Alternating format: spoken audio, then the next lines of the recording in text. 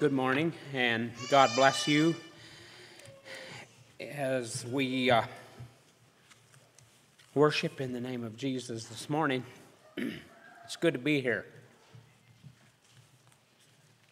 Uh, last evening, we sort of left a little late, and uh,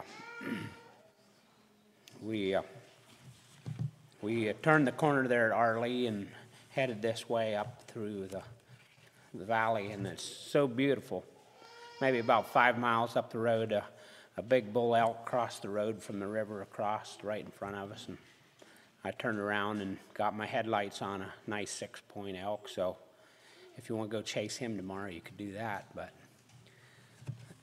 then we come on up through the uh, valley here, the lights on the water there at Thompson Falls, and it just brings back good memories of your people here. And uh, I believe if I moved, if I lived over here, I'd come to church with y'all. I really enjoy this uh, community and your congregation. God bless you this morning. So, uh, I guess I'll just tell you a little story. It's been, I think, two years since we've been here. Uh, we helped uh, William with uh, the ordination when Wendell was commissioned for two years as a lead pastor here, a bishop. And so uh, Wendell called here, called me a couple months ago and asked if I would come and, and carry out another bishop ordination. And I said I would. And we also asked Wendell to come and help us the third weekend of December for ours. So we're looking forward to that anyway, I guess to get the elephant out of the carpet or whatever, uh, we plan to come in uh, December 3 here and have this ordination. And it's a little uh, different to have a ordination where you know one of the three men will be asked to lead out. When you have a minister ordination, it's you you don't know who, and that's that's just the way it is.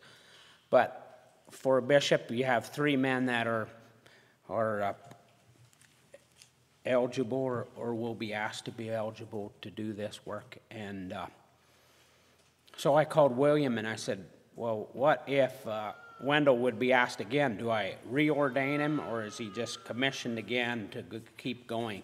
And he said, Yes, you ordain him uh, if he is called and you lay hands on him and you you give him the charge for indefinite, which would be my understanding 10 years to 60 years. I'm not sure.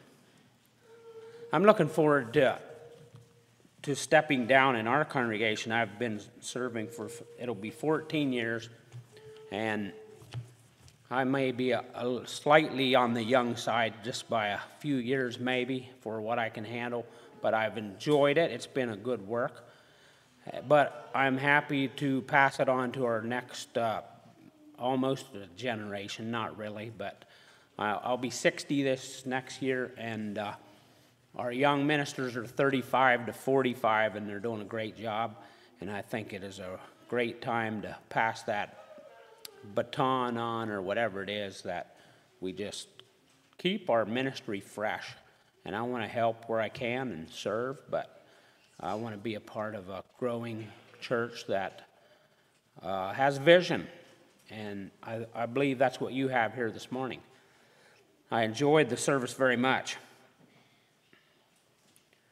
Serving God, and God bless your congregation as you think of a longer term leader it's just part of the work. Psalm 99, let's turn to Psalm 99.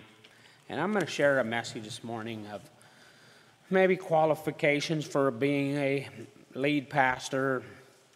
There's so many words to describe a bishop, uh, elder.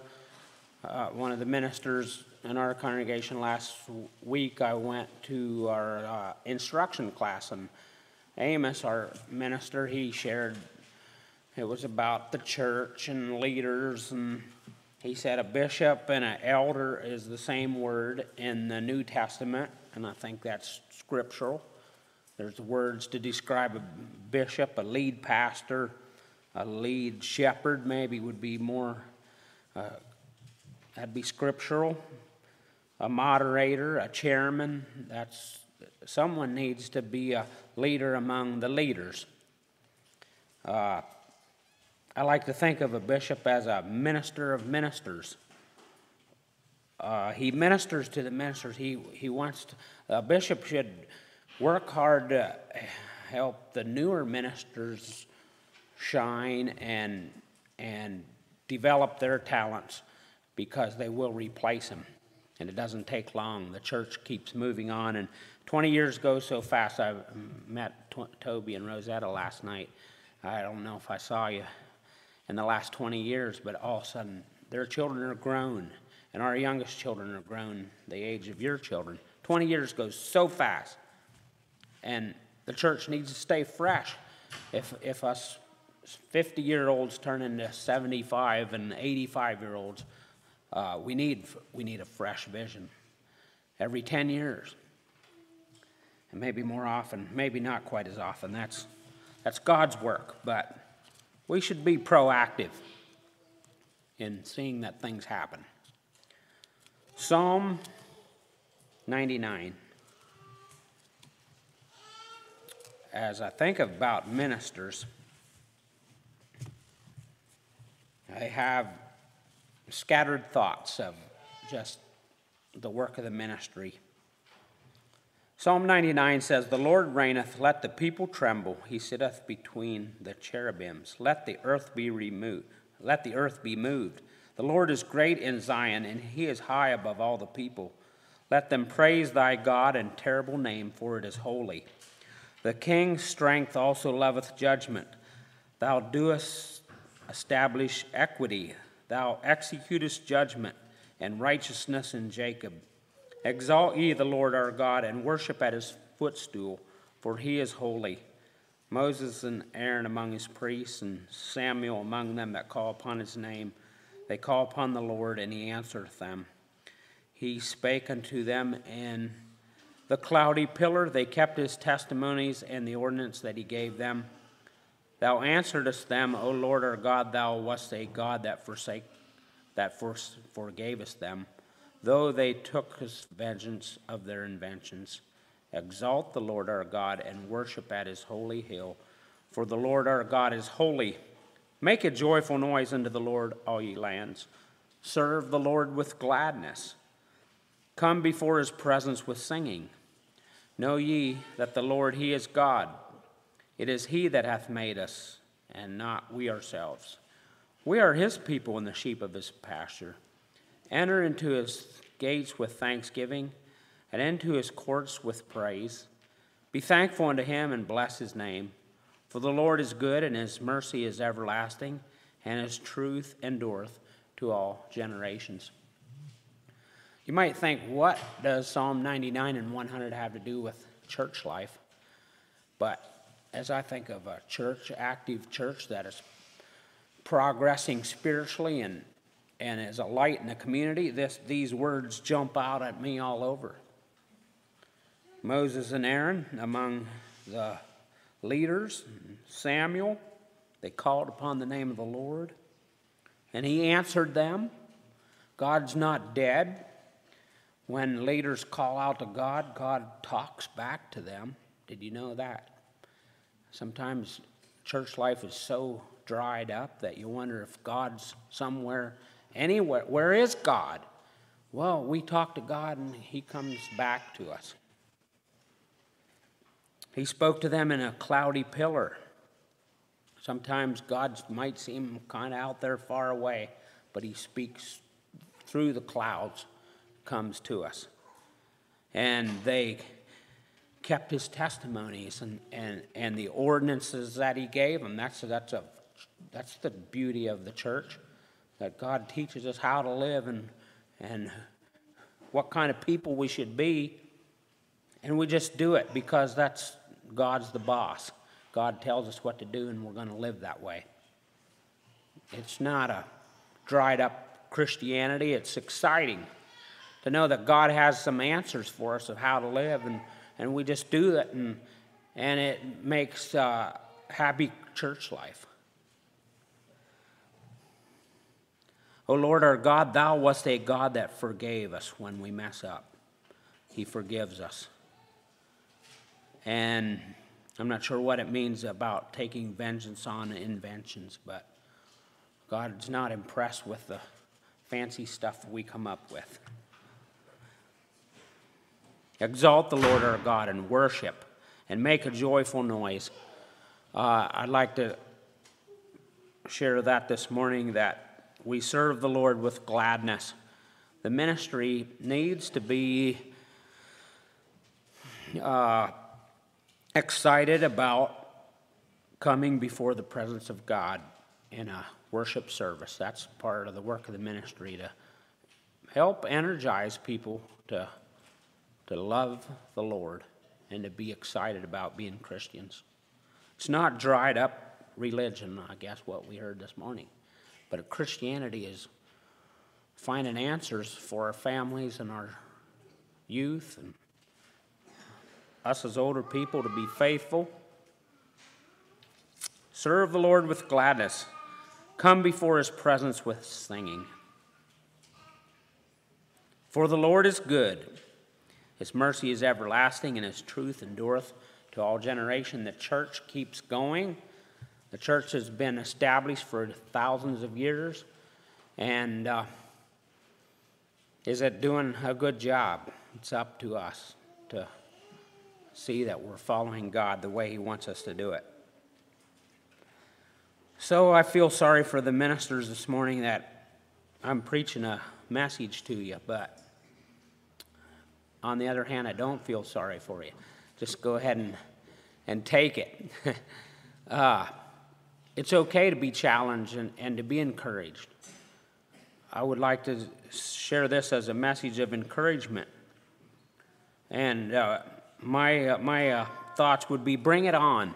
Teach us how, as pastors, when I preach a message, I, I preach to myself also. And I want to learn how to do a better job at my work. Every good leader in a business world, they want to learn how to do things better because uh, going broke is not the ultimate goal of a business. Uh, doing things well I think we should try to, to achieve to that. So let's turn to Philippians 2 1 through 8.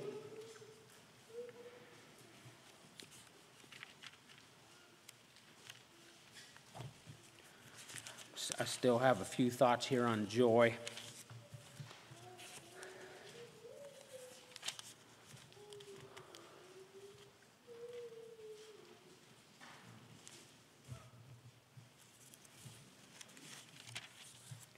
If there be therefore any consolation in Christ, if any comfort of love, if any fellowship of the Spirit, if any bowels and mercies, fulfill ye my joy that ye be like minded, having the same love, being of one accord and of one mind. Let nothing be done through strife or vainglory, but in lowliness of mind, let each esteem others better than themselves. Look not every man on his own things, but every man also on the things of others. Let this mind be in you, which was also in Christ Jesus, who, being in the form of God, thought it not robbery to be equal with God, but made himself of no reputation, and took upon him the form of a servant, and was made in the likeness of men. And being found in a fashion as a man, he humbled himself and became obedient unto death even the death of the cross. Wherefore God also hath highly exalted him and gave him a name which is above every name, that at the name of Jesus every knee should bow of things in heaven and things in earth and things under the earth, and that every tongue should confess that Jesus Christ is Lord to the glory of God the Father. This is for everyone. It's not just for the ministry that may be asked to be the lead pastor. But as the church works together, these verses here are so beautiful. We're like minded, we have the same love, we're of one of accord, one mind in Jesus Christ. It's not that we all look exactly alike and everyone wears a black pair of pants and a white shirt Sunday morning so that we have this one accord. Uh, I've heard uh, Dale Heisey years ago said, sameness is not oneness.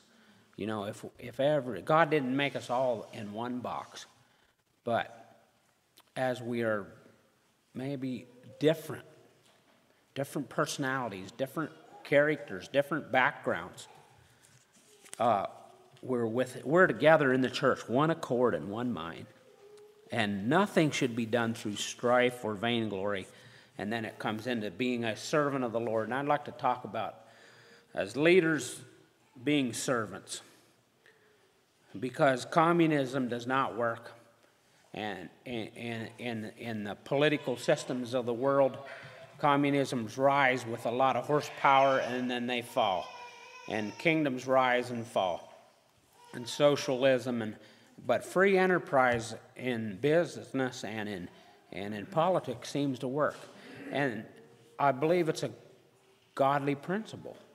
Uh, as we look at godly principles when when when kingdoms follow godly principles god seems to bless even politics and business but this is a godly principle that that leadership is uh, is serving. It's a place of service. There's in, in, in churches, there's not political signs that says, vote for me. No, it's not that way. But when we're asked to serve, then we serve. We do not campaign for jobs, but we're also available, neither do we run from them and say, no, no, I don't want to do this. I, I, that's not for me. Uh, we want to be available to serve God, but it's a place of service. We're following the Lord Jesus Christ. That at the name of Jesus, every knee should bow. All the leaders, all the members of the church, we're bowing to our chief shepherd. When the chief shepherd shall appear, that's who we're going to answer to. And uh, every one of us is serving the Lord Jesus Christ, and we're serving together. Let this mind be in you, which was in Christ Jesus he did not consider himself equal with God. Well, he, he was equal with God, but he made himself of no reputation. He took on him the form of a servant. And if Jesus took on him the form of a servant, why in the world shouldn't we as ministers not be servants? Matthew 20. The reason I want to stress being a servant of the Lord is because I think it's the only way that works. If we're going to have successful long term church life, leaders must be servants. Matthew 20, verse 20. The thought here is we can be following Jesus and still not be a servant. Then came to him the mother of Zebedee's children with her sons, worshiping him and desiring certain things of him. And he said unto her, What wilt thou? She said unto him, Grant that these my two sons may sit, the one on thy right hand and the other on the left, in thy kingdom. But Jesus answered and said, Ye know not what ye ask. Are ye able to drink of the cup that I shall drink of, and to be baptized with the baptism that I am baptized with? They say unto him, We are able. And he said unto them, Ye shall drink indeed of my cup, and be baptized with the baptism that I am baptized with.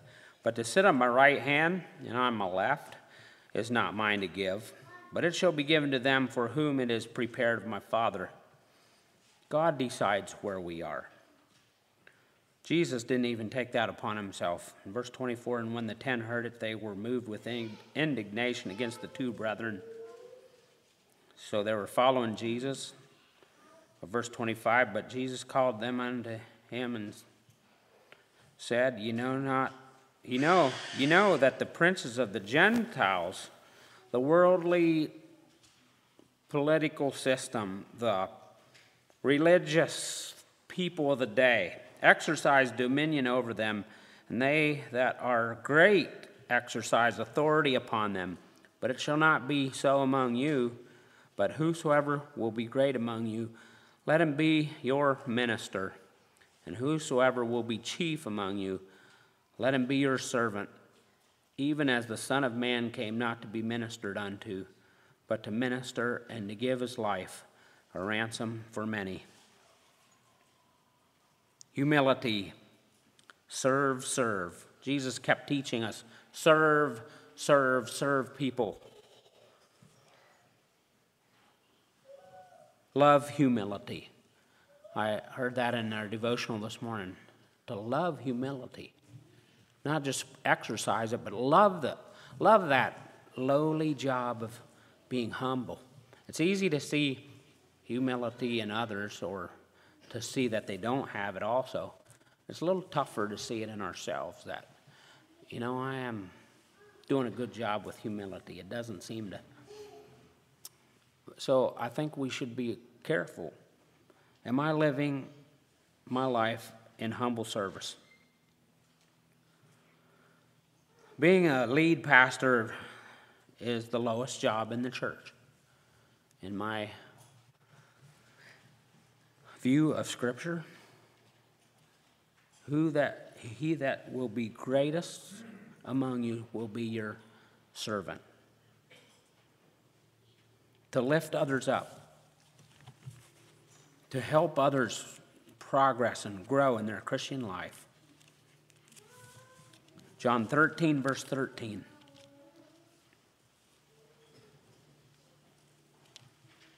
Ye call me Lord and Master, and ye say, Well, for so I am. If I then, your Lord and Master, have washed your feet, ye ought also to wash one another's feet. For I have given you an example that ye should do as I have done to you. Verily, verily, I say unto you, the servant is not greater than his Lord, neither he that is sent greater than he that sent him. If you know these things, happy are ye if you do them. You probably just observed communion. I'm not sure. We just did a couple weeks ago, and we have a feet washing service. And it's pretty embarrassing, I think, as time goes on. People are getting more embarrassed and ashamed to wash feet. It's just kind of a lowly project. But, and I've heard the suggestions why this is obsolete, washing people's feet. Why don't we wash each other's cars? Let's, let's put the cars out in front, and we'll come through and we'll wash cars. Well, it's not embarrassing to wash somebody's car, or it's not lowly. It's not very lowly. We'd have pressure washers and squeegees and everything, you know. But to wash people's feet, to serve people. Jesus did it for us, show us that we should serve people. It's an emblem we do two times a year, and it doesn't make us servants, but it's a it's a outward sign of what we're doing inside that I will wash your feet for the next six months and I will care about you. I won't take advantage of you. I'll weep with you when you weep. I'll rejoice when you rejoice. I will serve you. Colossians 3 10 to 14.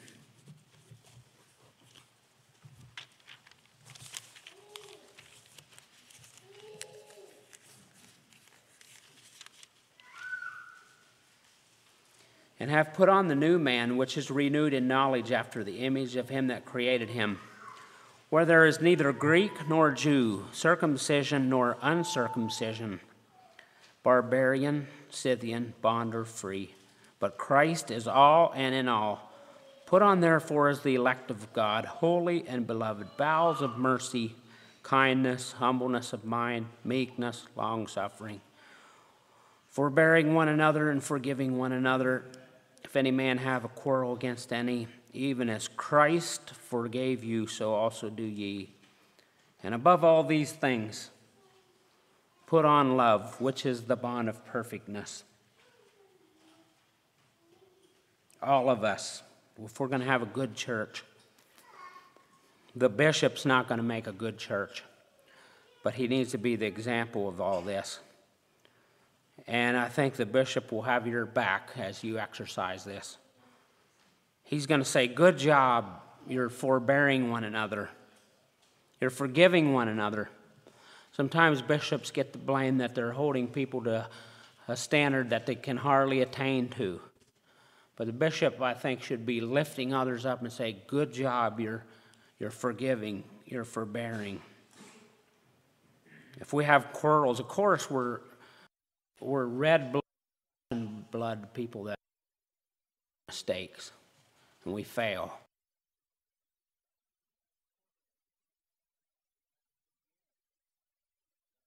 Lead pastors, I, I think this is what Jesus, and it's beautiful. 2 Timothy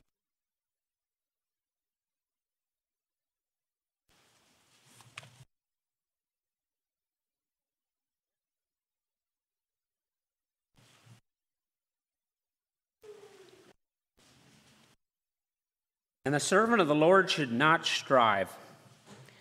And the servant of the Lord must not strive. There is a difference. There's a lot of servants of the Lord that ah, they shouldn't strive, but they're going to do some of it.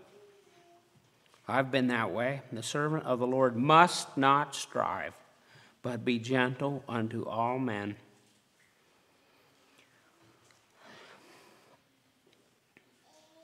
apt to teach, patient, in meekness, instructing those that oppose themselves. If God peradventure would give them repentance to the acknowledging of the truth, that they may recover themselves out of the snare of the devil, who are taken captive by him at his will.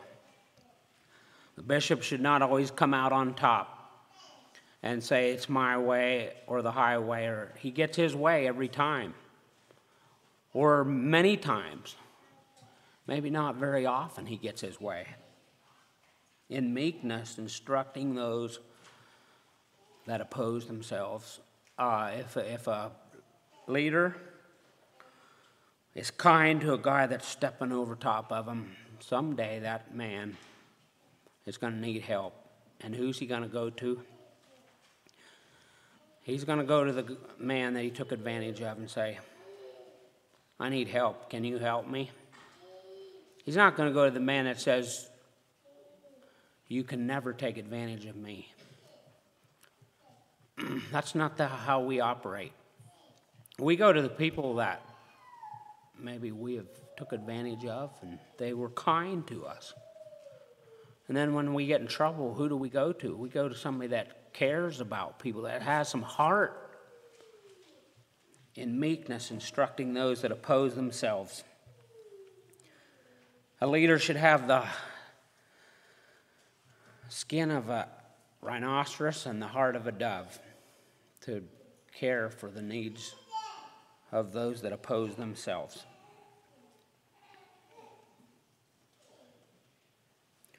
Let someone else be the strong arm leader that comes out on top.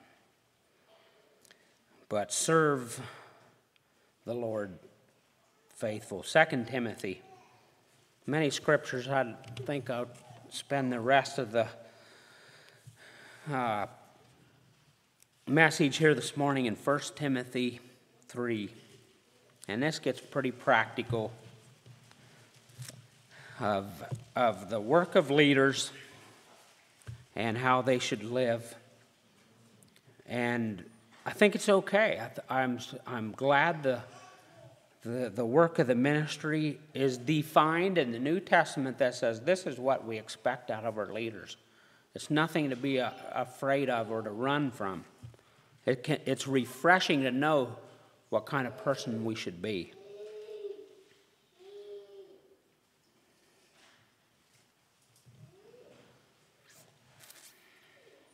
In our devotions this morning, 1 Timothy 2, verse 4 says, it's talking about our Lord and Savior, who will have all men to be saved. Isn't that beautiful? God designed us all that He wants all of us to be saved. And now I go to 1 Timothy 3, and this is just practical stuff of, of how a leader should function. It says, This is a true saying if a man desire the office of a bishop, he desireth a good work. That's, that's a, quite a verse there. When I was ordained bishop, I looked at that verse. I said, That's got to be the worst verse in the New Testament. Uh, why would someone desire this work? But if we look at the picture of God's kingdom and his holiness, and, and he designs lowly men to exemplify the Lord Jesus Christ, I think that's beautiful. A man could chase $2 million in business the, his whole life for $4 million. People make all kinds of money anymore if they just invest 20 to 30 years of good, solid principles in business in America. You can make millions of dollars, but what good does it do? How about the office of a bishop? A faithful, lowly job of loving people.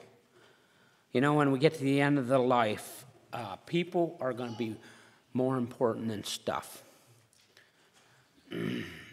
uh, we do construction and we haul j- construction junk to the landfill just out of Great Falls. We have a big trailer, and every week somebody gets the fun job of going to the dump. But two years ago, one year ago maybe, there was a huge hole where they started in a new section of the dump. And people told me that's going to take years to fill up. I said, I don't think so. Well, I was there this last week, and that thing was way higher than the rest of the real estate all around us. That huge hole filled up with stuff. And that's what we work for. All your garbage, all, all my money usually ends up at the landfill. Ain't that something? Whoever desires this office, he desires a good work. No, we don't want the projects that God sends our way. We're not campaigning, but it is a beautiful thing to invest in people. A bishop then must be blameless, the husband of one wife, vigilant. I'm going to just pick that verse apart a little bit. Why? Well, blameless. Does the, does the Bible say that a bishop must be perfect? Of course not. But it says blameless. Uh, blameless is a man says he's sorry when he fails. When someone approaches him and says, You messed up, we put our heads down and we say, Sorry. Bishop is blameless when he's human and open for counsel, correction. He's humble. The next phrase, the husband of one wife, vigilant. Uh, the most the next most important thing for a leader is to be faithful to his family and to his wife don't ask the minister if he's faithful to his wife ask the wife is your husband care about you monday morning or just sunday at, at the worship service the wife should be the one that answers that question the wife of one husband, the husband of one wife. Faithful in marital vows. A single eye towards your spouse. John Yoder preached for John Miller from Indiana one year. I remember his little story. He just said, There's a picture out there of a Norman Rockwell painting, and daddy's sitting in the restaurant with a snazzy waitress serving him, and his eyes are staring at the lady, and the little boy's eyes are staring at daddy's eyes. And it just tells you the whole story.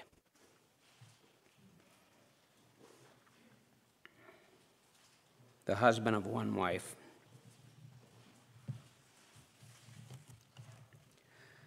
Vigilant. It's worth protecting. A happy home is the heartbeat of the congregation. A happy family is the powerful testimony in the America today. You can carry your Bible, you can carry your wallet anywhere you want and impress people, but a family that loves each other and a mom and daddy that love each other is a huge commodity in a world of, of uh, frustration and brokenness. It's the beauty of Christian families worshiping Sunday mornings and getting together and Sunday dinners. I don't care what all you want to describe happy homes and happy families. But you see a happy home and you see a dysfunctioning one, and you can choose before you ever get married which one you're going to have. And you're going to make that decision every morning you wake up. You're going to decide am I going to have a Christian home or am I going to have the homes that the devil's saying it ain't worth it? I just want to leave that encouragement today. The next phrase, sober. A leader needs to be sober, of good behavior, given to hospitality, apt to teach. A selfish family that never wants to have someone over for to your house. It's not very uh, appealing,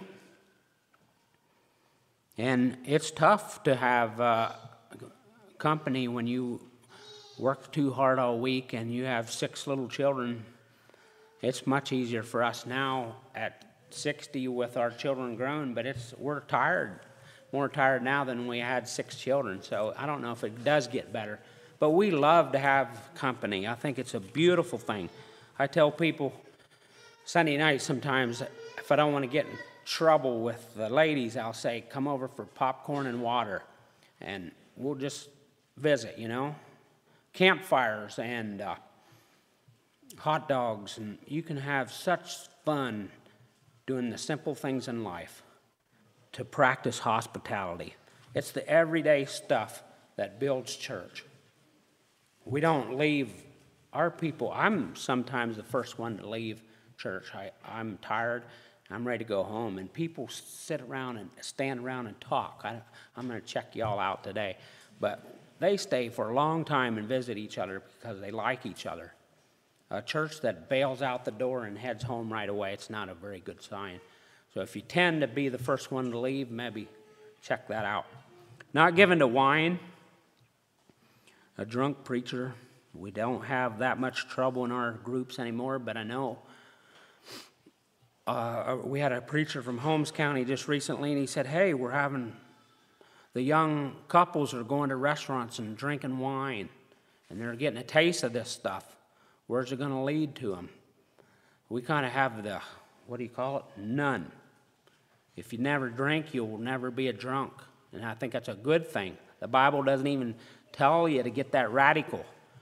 But do you want your boys to be drunks? That's my question. And a leader needs to be sober. No striker, not greedy, a filthy lucre. That explains itself, but patient, not a fighter, nor covetousness. One that rules well his own house, having his children in subjection with all gravity. You'll never have perfect children. Preachers don't tell your children, we're preachers, we got to be good. You'll put a lot of stress on them. Let your children be children. They're just as naughty as everybody else's. But spank them when they need one and love them all the time. And be normal. If one if a one year old preacher child throws a fit in church, it's not the worst thing that ever happened. They're just human. But we do take care of our families. We have discipline and we have respect and we have love, love, love, security for our children, for the, for the minister. He should be an example of the believers for happy, healthy children. Not a novice, lest being lifted up with pride, he falls into condemnation of the devil. Our policy is that a minister should be a minister for several years before they're a bishop because I guess you can be proud to be a bishop and to have that authority. It should never be that way. But get some experience. Moreover, he must have a good report of them which are without. Does that mean above all else, or at least in the community, he should have a really, maybe he doesn't have that great a testimony in the church, but at least in the community, everybody thinks highly of him. Well, it should be both ways. But moreover, of course, this man should have people that are saying, I like to hire this preacher. He, he's a fair, he keeps his word, he looks out for us, lest he fall into reproach and the snare of the devil. The devil just loves to take people down, ministers, and say, ha ha, the church is just a joke. And I've, I've tell, I, I tell people when a minister falls, I like to tell the church, you know, that's a time to rally around the church and to show the world that, hey, ministers fall, but they can get back up again. And God will not be mocked. God God takes care of business. When ministers fall and they're reproach, they can get back up. They can do right again. It's not the end of the world when ministers fail. I'm afraid sometimes we have preachers at such a high standard that if they fall, the whole church falls apart. No way. They're just a servant of the Lord. And they can find healing again, too. That's the beauty of redemption.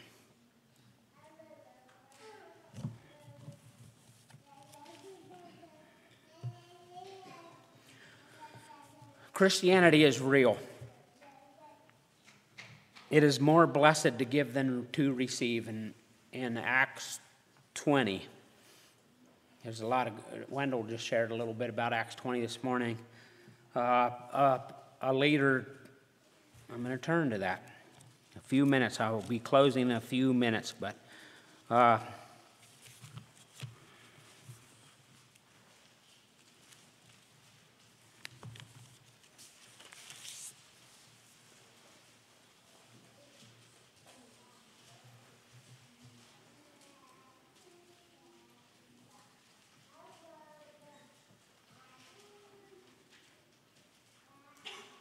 Acts 20, verse 22. And now, behold, I go bound in the Spirit unto Jerusalem, not knowing the things that shall befall me there. Apostle Paul, he was a major league bishop. Today, we're just sissies, if you want to call us that, in, in the work of the bishop. I've never been beaten I've never shed a drop of blood for the church. I've, I've lived in prosperity all my life. I think it's a terrible danger that we should be aware of. If we can't make it in today's prosperity, we sure won't make it in persecution. But here's Paul. Verse 23 Save that the Holy Ghost witnessed in every city, saying that bonds and afflictions abide, my, abide me. But none of these things move me Neither count I my life dear unto myself, so that I might finish my course with joy and the ministry which I have received the Lord Jesus to testify the grace of the gospel of the grace of God. And now, behold, I know that ye all among whom I have gone preaching the kingdom of God shall see my face no more. Wherefore I take you to record this day that I am pure from the blood of all men for I have not shunned to declare unto you all the counsel of God. Take heed, therefore, unto yourselves and to all the flock over which the Holy Ghost hath made you overseers, to feed the church of God which he hath purchased with, with his own blood. And that's as far as I'm going to read. Jesus Christ purchased the church with his own blood. I never shed a blood of my own for the church. And I know Paul did, but he still gave the honor to the Lord Jesus Christ. And that is why Christianity is real this morning. For everyone this morning, Christianity is real and exciting and refreshing. And that's the minister's work to promote that to his congregation. It's such a blessing to work with congregations where parents want to raise godly children and young men are committing to moral purity and committing to God and to living pure. At our church, we have a fairly fresh group of young men. There must be about 10 of them, and a couple mentors, and they just going through purity books and they're committing to following Jesus.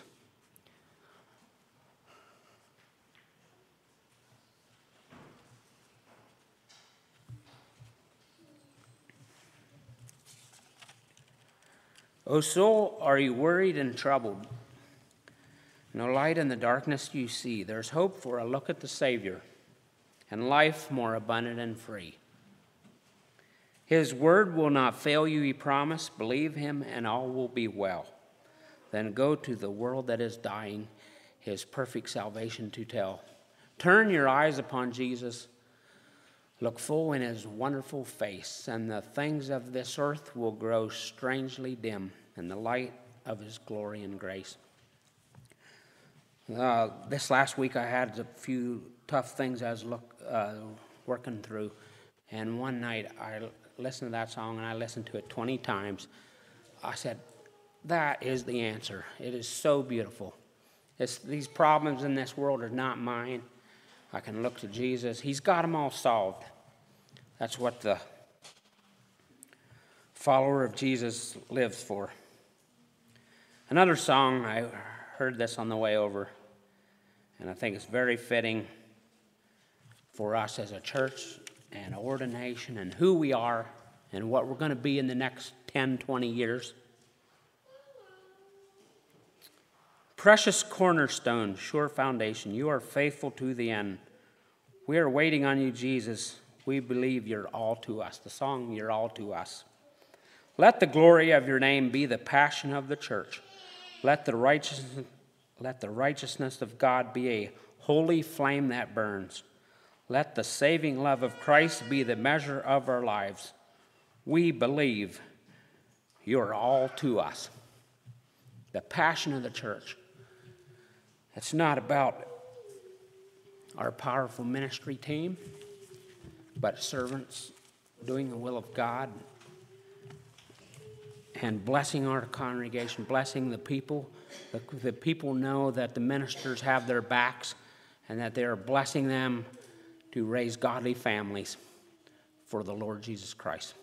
Let's just bow our heads for a word of prayer.